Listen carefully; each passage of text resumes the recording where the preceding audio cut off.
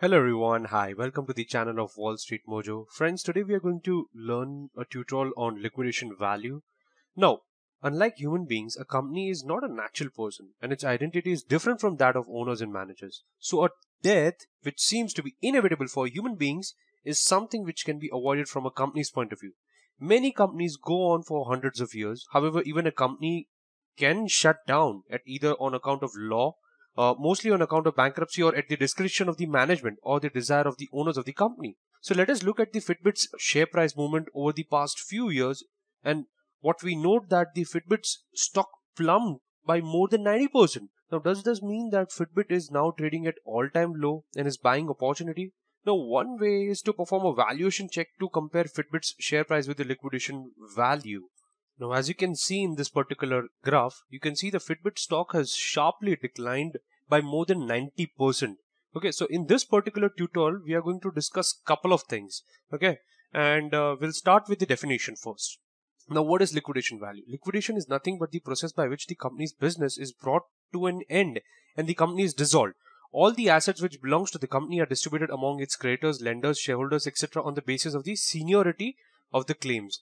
Now, Liquidation value is the total worth of a company's tangible assets, that is physical assets, when it goes out of the business. All the tangible assets, fixed as well as the current, are considered while calculating the liquidation value of the company. However, intangible assets such as goodwill are not included in the same.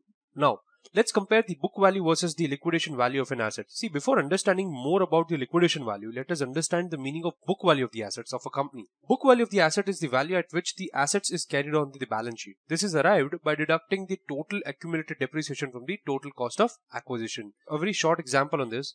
Uh, let's say there is a company ABC, okay, and uh, it, it purchases a piece of uh, office furniture at a price of 1 lakh. Okay, dollar. Apart from the purchase price, they also end up paying following expenses to bring the furniture into the required location. Okay, there are some charges like uh, loading and uh, unloading unloading charges which is close enough to $1000 and there is some interest charges interest charges to be paid on the borrowed funds for buying the furniture which is close enough to 2500 dollars. So what is the total cost? Now we knew that there is companies abc which has purchased the furniture. So we'll write the furniture value over here. Furniture value was close enough to 1 lakh 1 lakh dollars. So that comes down to 1 lakh 3500 dollars. Okay? Now depreciation on the above furniture for the sake of convenience let's say that the depreciation rate is close enough to 10 percent Okay, so 10% per annum on the written down value method. So in the year one, what will be the depreciation? I'll just I'm just writing y1 by saying what will be the depreciation for the first year. That is going to be 103500 into 10%. So that is 10,350. Now for the second year, that is I'm writing y2, it's going to be is equal to 103500 that is the initial value less the depreciation from the previous year okay. Once you do this you need to multiply this whole thing to 10% so this into 10% once we do that we get 9315 as the depreciation. So the book value of the piece of the office furniture at the end of the year 2 will be that is we are talking about at the end of the year 2 so we are writing book value at the end of the year 2 of the furniture will be 1 lakh 03500 less the year 1 depreciation less the year 2 depreciation which is 83835 dollars. So if we are taking liquidation value of the above furniture we would be we would look more at the market value of the assets rather than the book value of the assets.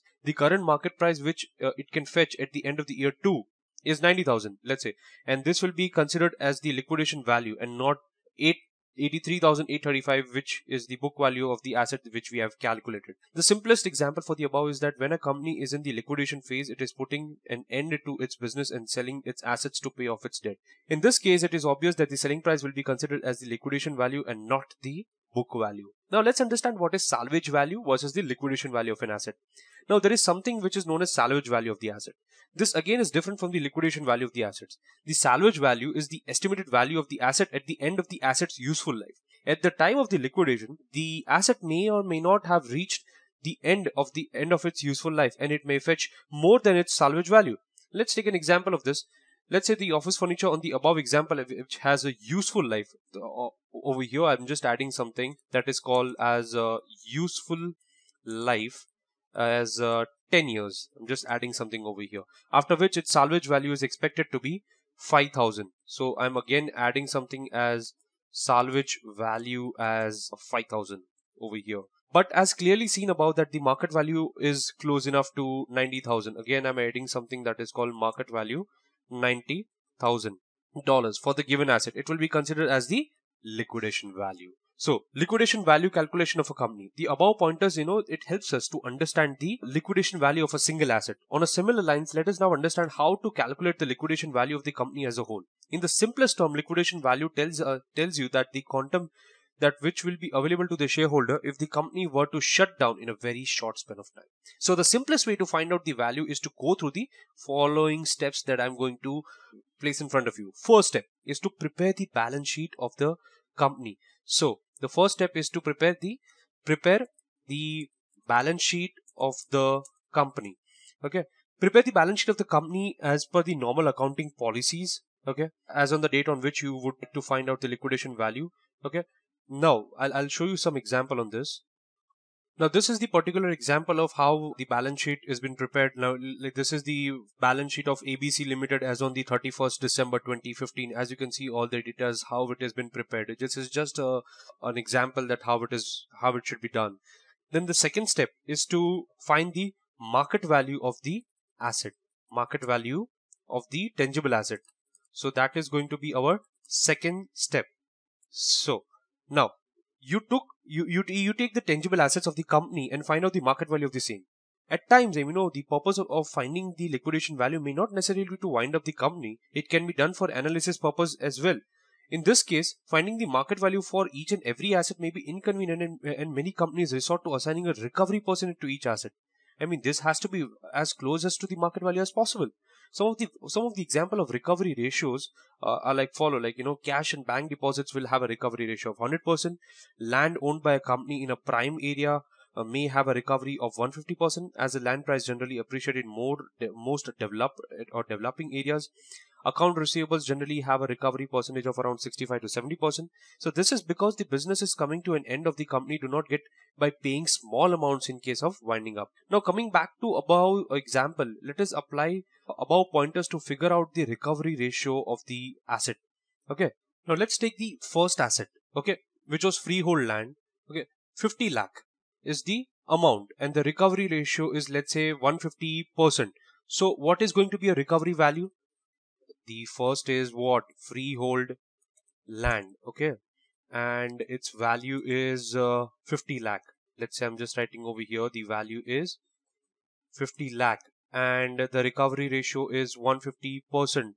So in this particular scenario what is going to be the recovery value? So its its value is going to be 50 lakh into 150 percent okay? So that is going to be 75 lakh. Now this is this is the case of recovery value. Now, the value of the land uh, in, in, in the area has appreciated since the time the company had purchased it. The current property prices in the area suggest that, that we can earn 50% of the profit over and above the original purchase price. Since there was no depreciation in the freehold land, we have applied a flat recovery ratio of 150% of the book value. Now, let's take another thing. Uh, furniture. Furniture, uh, its value is 12 lakh 25,000 and its uh, recovery 12 lakh 25,000 its recovery rate is close enough to 50%. Okay, so now in this particular scenario, what is going to be the recovery value? The amount into the recovery percentage. So let's understand the comments on the same. See, the company has has found a similar second-hand office furniture listed on the e-commerce website at this price. That is why the company assumes that it can sell its furniture at a very same rate. Again, let's take one more example of plant and machinery. I'm just writing PNM, plant and machinery. Its value is, let's say, 4 lakh 30 and uh, the recovery uh, ratio is 25%. So what is going to be the recovery value? 1 lakh 7500. So let's understand why. See, the machinery has been used on overtime basis over the past year. The depreciated value itself is less and the company expects that, that they will have to sell it for a value very close to its salvage value. Again, let's take one more let's say transportation transportation of vehicles Now, again, the value, let's say 4 lakh 50,000 and the recovery ratio is 75%. So in this particular scenario, what is going to be the recovery value into 75%? This is 4 lakh 50. Okay. Now, in this case, the company has spoken to a second-hand car dealer and the rate is determined after the consultation with, the, with them. Okay. So this gives us the total fixed asset value that is 71 lakh 05 triple zero. And let's say what is the recovery value? 85. So there is a complete increase. Okay. Now this was the case of the fixed asset. This we had discussed in case of the fixed asset details. Now let's talk on the current asset note. So we we have the next that we are going to discuss is current asset. Okay. Now in case of current asset, let's say we'll take first as debtors. Okay the debtors and their value is let's say 3 lakh and the recovery rate is 75%. So recovery value will be 2 lakh 25,000. So as mentioned earlier, small timers don't end up paying their debts if the company is going to liquidate and they will never have to worry about the future orders with them. A prudent estimate is that they will be able to fetch 75% from the data. Let's take another example of inventory. And in case of inventory let's say the value is close enough to for inventory we'll bifurcate as raw material. Raw material has value of uh, let's say 1 lakh 70 the recovery rate is 90 percent. So i'll just copy the formula here. So recovery value is 1 lakh 53 thousand. See, raw material lying in the goods will fetch a very good value as it is not very uh, aged inventory. So we can fairly assume that the fresh stock can be sold in the market at 100% of its value. Let's take one more that is called WIP, that is work in progress. So work in progress 1 lakh 25,000. The recovery rate is just 5%. So control D the value is 6250. The company does not want to spend its time on, on its resources in completing the work in progress and it intends to sell the work in progress inventory as a scrap and the scrap value will fetch only 5% of the total value. The final is the finished goods that is FG finished goods its value is 3 lakh and the um, uh, recovery rate is 90%. So let's do control D. So value is 2 lakh 70 Finished goods should fetch 100%, but considering the time frame to liquidate the goods, the company might offer discount, which is why the recovery ratio is close enough to 90%. The next is the balance in bank. Let's say the balance in bank is 70,000 and recovery ratio is completely 100%. So it's going to be 70,000. See, bank balance is also very liquid and it will definitely fetch 100%. However, at times there are very, there are charges on the closure of the account. The next is cash. 5000 value, 100% recovery rate, and the value is going to be 5000. Cash is already liquid, and there is no point of applying a recovery rate to this particular thing. Prepaid insurance. Prepaid insurance. Okay, in case of prepaid insurance, the value is 10,000, let's say, and uh, 0% is the recovery rate. So it's going to be 0.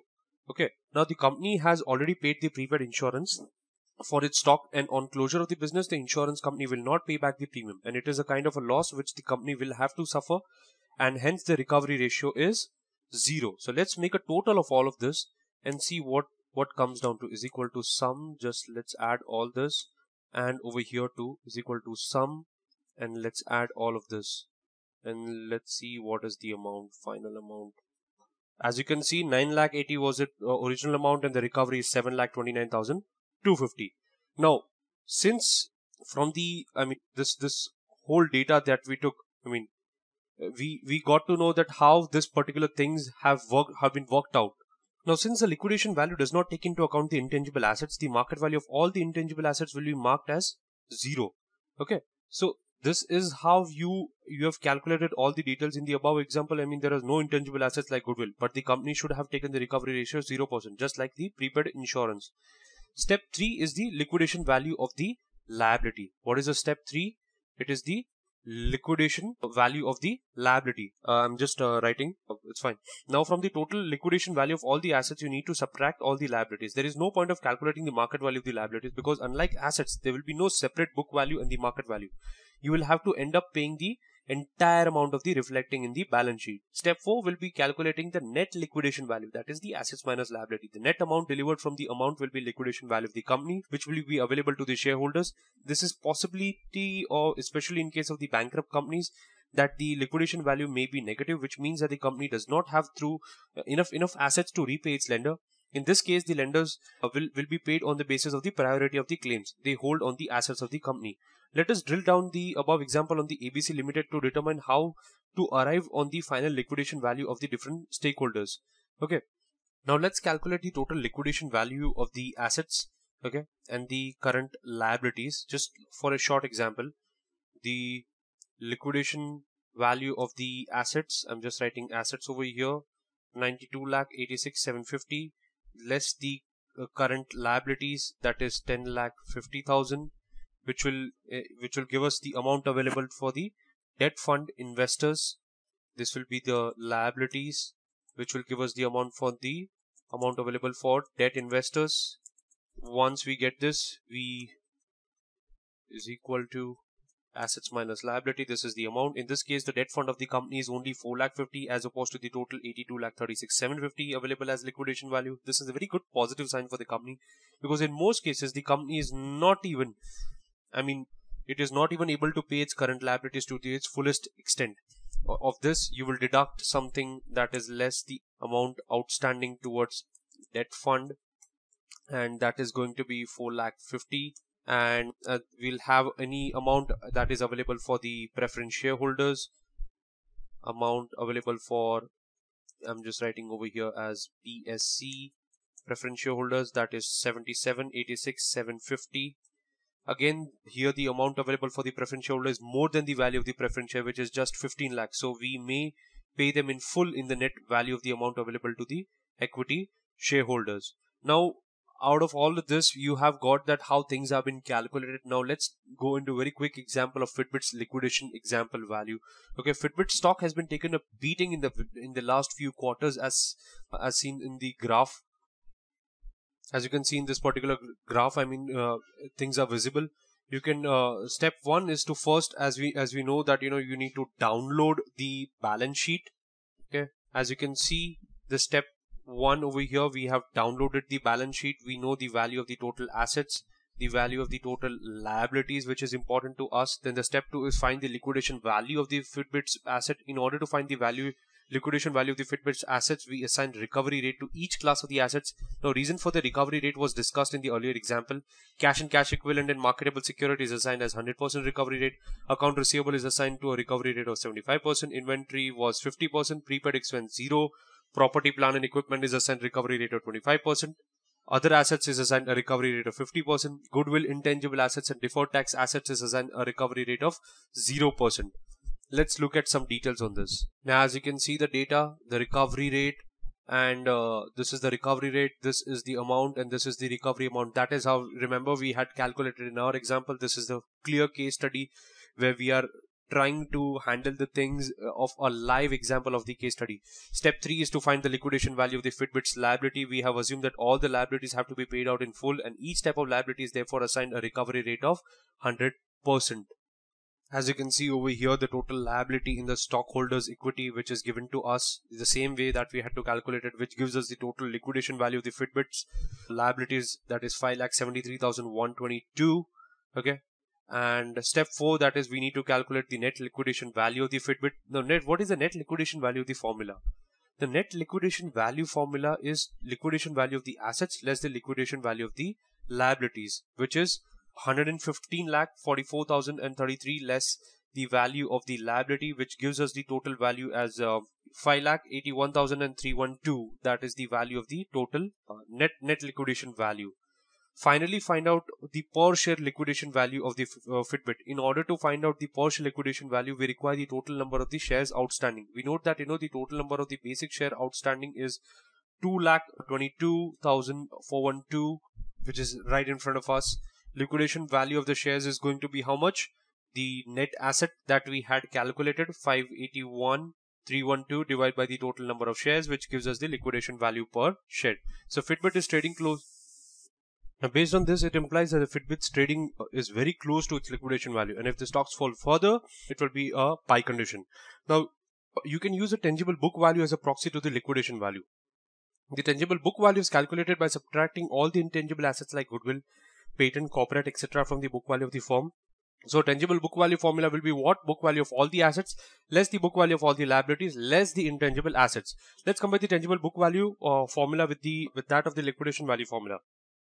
The liquidation uh, value formula is liquidation value of the assets less the liquidation value of the liability, while the liquidation value of the liability is equal to the book value of the liability. So the formula for, for the above, it becomes like the liquidation value of the formula is value of the assets, liquidation value of the assets, less the book value of the liability. Got it? So that is the catch over here. Now coming to the calculation of the liquidation value of the assets, the sum of the recovery of the each assets into the book value of the assets. In this formula, we assume that the recovery rate of the intangible assets is 0%. This removes the intangible assets from the liquidation value of the assets. For the other assets, the recovery is 100%. Okay, and therefore the liquidation value of the asset is less than the book value of the assets. The book value of the assets less the intangible assets. We note that even though the liquidation value is less than the tangible book value, it is greater proxy of the identifying stock that are trading close to the liquidation value. Using price to tangible book value ratio, it provides us with relatively valuation, a relative valuation multiple for making such comparison. If the price to the tangible book value ratio is less than 1, then the share price is trading below its tangible book value. This implies that if the company is liquidation liquidated today, then the shareholders will be will, will profit from the higher tangible book value.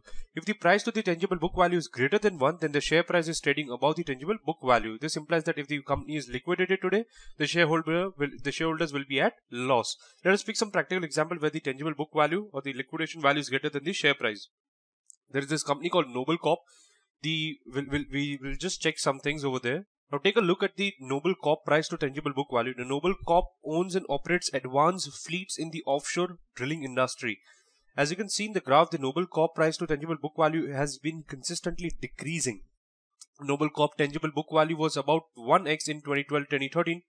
Due to the slowdown in the commodity oil, Noble Corp stock price plummeted from high 32.5 in July 2013 to 6.87 currently. This resulted in the share price decrease in the price to tangible book value and is current and is currently trading at 0.23x.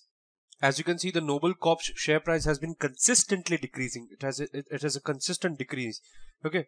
Now there is likewise there's another example of uh, a Tran Transocean price to tangible book value and the liquidation value. We have to look at the Transocean's price to tangible book value. Now Transocean is an offshore drilling contractor and is based on the it's based on Switzerland Let's see the graph. As you can see, the rig prices to the tangible book value ratio has again it has been decreasing. We note a similar trend in the Transocean price to tangible book value. In 2013, the Transocean was trading at the price of tangible book value of 1.62x. Uh, however, it has sharply declined to 0.361x. Currently, Transocean is another example where the liquidation value is greater than that of the stock price. Let us now pick some other example where the liquidation value is negative. Uh, heard about the name Fiat Chrysler tangible book value liquidation value. Stock with a negative liquidation value implies that if the if this companies are liquidated today, the shareholder will not be able to recover their investment. Let's take the uh, Fiat's Chrysler example. The uh, Fiat's price to book value ratio was 0.966x. However, its price to tangible book value was minus 2.08x.